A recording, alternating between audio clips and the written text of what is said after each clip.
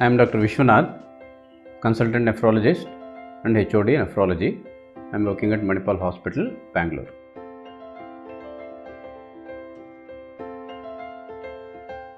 As the kidney disease progresses from stage 1 to the later stages, if it continues to be worsen, then beyond stage 4, we have to manage them with medications, manage them with a diet which is very specific for kidney so that we can prevent further progression like reduce salt intake, reduce fluid intake if they have a lot of edema, lot of breathing problems.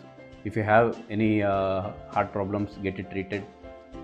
So unless we do all these things, uh, we cannot manage them. As they go on to progress to very late stages, unfortunately we cannot manage with medications. We have to consider doing either dialysis or transplant. Dialysis could be life saving in any emergency situation when somebody has severe kidney disease. Dialysis is the only thing which saves them from having major catastrophe in the family.